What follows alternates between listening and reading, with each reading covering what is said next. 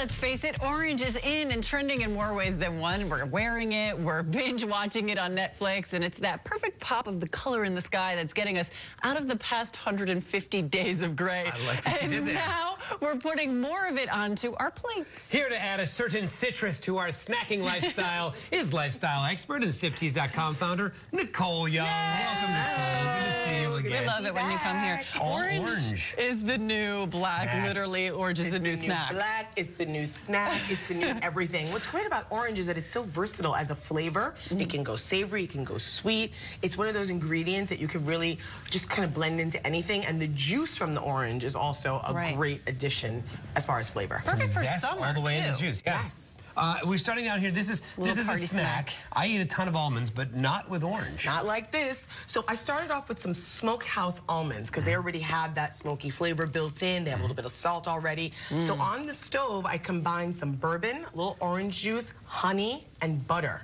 They're a pinch of cayenne pepper because it's not really spicy, but just to give it a little kick. Right. I brought that up to a boil, reduced it down, maybe a little bit, maybe like for five minutes. Then I tossed in about a cup of the smokehouse almonds. Oh. Get them really coated. You want to bake them at 350 for 10 minutes. Take them out, shuffle them around a little bit, put them back in for another five till they get nice and crispy and golden brown, and then voila, And then try have it. I gotta tell you, they're is so good. Aren't they nice? They're really good. Mm-hmm. it's like people are expecting almonds, but they're not expecting that flavor. zest. So it's It's, a, really it's a little bit sweet. It's a little bit spicy. love it. spicy, a little bit Oh, that is so salty. good, Isn't that nice? I'm glad you like it. love Great that. party snack. Now this, This is cute. this is one of those things that this is like another one of those wow snacks because people always expect you to have salsa, but they're not necessarily looking for it to be made with orange as opposed to like tomatoes or Right, mango or anything right. like that. So I'm gonna have you guys actually make this together. Uh-oh. JD, here's your station. Oh, my station, your station. Christina, that's your station. So we've just taken what? You So just this is just an orange. segments. I use navel oranges because they've got a lot of flavor Mm-hmm. in them. Chunked up the segments into little cubes. Okay. Now you're gonna add parsley. You each have Mm, some parsley, whole thing, lemon juice, Okay. Some chives, Mm-hmm. and then just a little bit of olive oil. Just pour that in there. Take your spatula, blend it Mm-hmm. Together. Salt and pepper or no? After you blend it together, I'm gonna have you add a little bit of salt and pepper to taste. Yeah, pushy. Just hold on. Hold on. I I'm sure she's there. prepared in terms of flavor. Moving we don't down want the bland line. stuff, right? I understand. So All toss right. that together. Go gently though, because you don't want to Okay. break up the orange segments, and they're really juicy, so you don't want too much of the juice to come leaking Okay. out. Now you're gonna just add a little salt and pepper to taste, Haha. See? Ah, you're right. Boom, boom. As much boom, as you like. And boom. There you go. Switch. Switch. Thank you, there you go. That's good. Okay. Give it another little bit of a toss. Mm-hmm. And now you would chill that. You know, you could chill it overnight because then it really, all the flavors marry together and Yeah. it really just kind of like marinades the oranges. Yeah. But if you chill it for like an hour, it'll be fine too. And then I like to Your serve in these little cute mini martini so glasses. cute. I'm a huge fan of tortilla the single chips. serve thing. I love this. Here we Try go. it. See what you think. Ooh, that's Try delish. it. Isn't that That's nice? really good.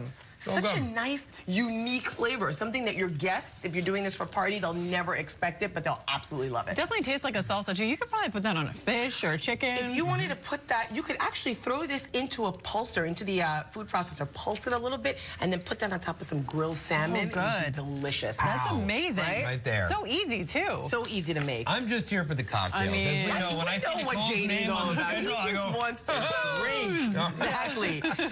what I love about this is that it's kind of a combination of a cocktail and a dessert. This is my blood orange rosemary crush.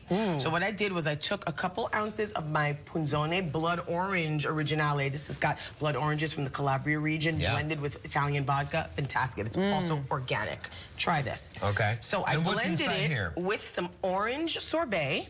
Oh, yeah. Okay, two cups of ice, a little bit of orange juice. Okay. And then I made a rosemary simple syrup, which is just equal parts sugar and water. And I let uh, a couple sprigs of rosemary steep in there for about Right. 20 minutes. And I blended everything in the blender. So it's really creamy. And then you just so freeze good. it for a little while.